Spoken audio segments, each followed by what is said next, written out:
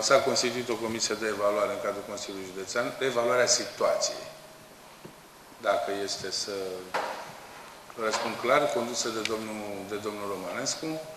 Nu am încă un raport al acestei comisii. Da, că m-ați întrebat mereu, aparatura medicală sau mare parte din ea era închiriată, contract care a fost reziliat deja de către, de către noi. Medical Finance?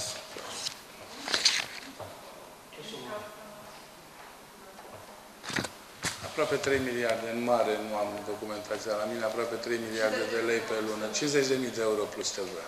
Consider, am considerat că nu este normal să închirieze o aparatură medicală atâta timp cât locația nu este funcțională, nu prestează servicii medicale.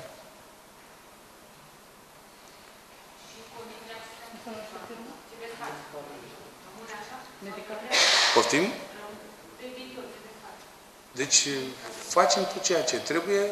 Încă nu este finalizată maternitatea total, să știți. Asta este un lucru pe care am susținut-o am susținut-o în campanie și vă confirm și acum. Deci chiar dacă aș avea toată aparatura, ar, ar fi toată aparatura în, uh, pregătită și nu putem monta în, uh, în acel spațiu și să devină de a doua zi funcțional. E vorba și de, de autorizații și de încă alte mici probleme tehnice care sunt. Dar uh, să știți că încercăm să punem maternitatea, este o construcție necesară, sau mai bine spus, maternitatea este un lucru maternitate nouă este un lucru necesar Buzăului, da? Și cre, cre, uh, fiți convins că vom încerca să finalizăm cât mai... Să, să poată fi inaugurată cât mai repede.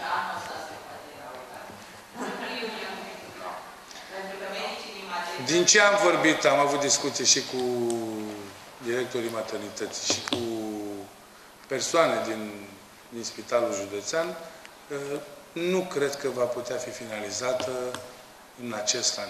În primul rând, nu cred că nici nu ne-ar permite timpul să luăm autorizările necesare funcționării.